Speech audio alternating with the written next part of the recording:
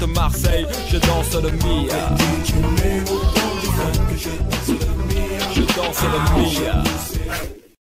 Emmanuel Macron, notre cher président de la République adorée, est à Marseille en ce moment. Et il va dévoiler son plan pour Marseille. Et vu que j'ai un copain super bien placé, le fils du cousin de la belle-sœur du beau-frère du garagiste qui habite juste en face de... Il a pu m'avoir ce plan. Et avant qu'il soit étalé dans toute la presse et dans tous les médias, je vais vous le montrer en exclusivité.